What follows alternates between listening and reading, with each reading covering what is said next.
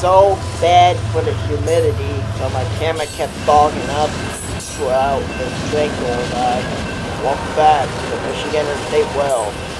It will be June the 22nd of 2024, making my way out to Romulus this morning for a very interesting reason.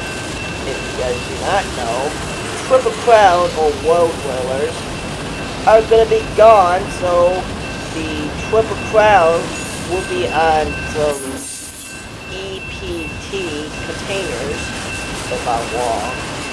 Anyway, those containers will be on intermodal for the Triple Crown, so that'll be boring, so we won't see any more Triple Crowns to Detroit anymore. But I will say this though, however, this will change it for this morning. My last time for seeing the Triple Crown was back in March of 2023. It was during spring break. I was out for nothing out for any reason. Just decided just to go out, and then I hear about a 255 being super duper late. So I decided to go out for that. Didn't get any camera shots of the Triple Crown though, this morning, that would change it all, because I would have plenty of time to do all that. However, this CPKC train is 137 for Hammond, Indiana, for IHB. So, they will go through Romulus around 6.30 in the morning.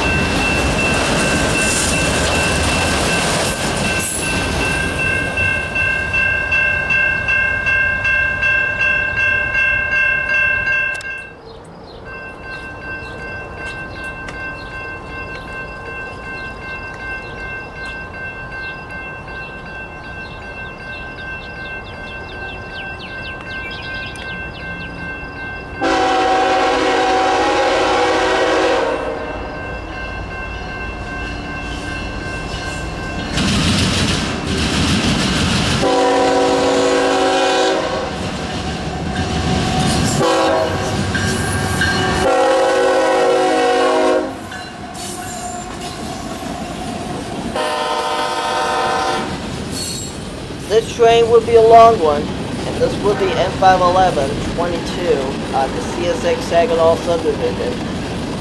And this will be our only CSX train here at Romulus for this morning. I would thought we would get another one since another one cleared um, Plymouth after this one cleared. But we would get a totally surprised what after this one goes by. So stay tuned for that. There's quite a few new um, coil cars on CSX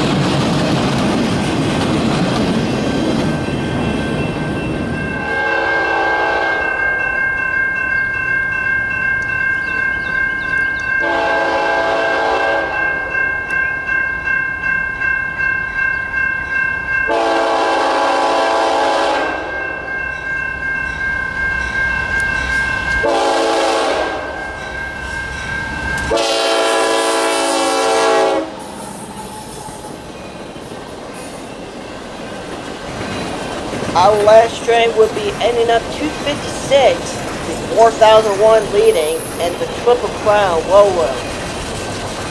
It would be so cool because this would be my last time to see Triple Crown on the Wabash line. Since Triple Crown is going to be on containers from Kansas City, Missouri to Toledo.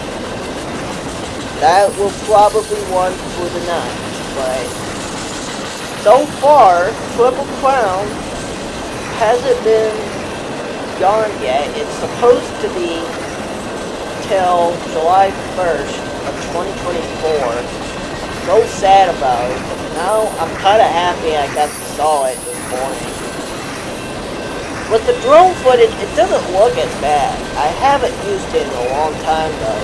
It's been a, quite a bit. I think the last time I used it was for 1776 at Fostoria when we were watching the solar eclipse. And when 1776 was going by, I used it for the drone. Getting some really nice video and stuff, but yeah. So 256 what I ended up going to Guam was around 8.03 in the morning.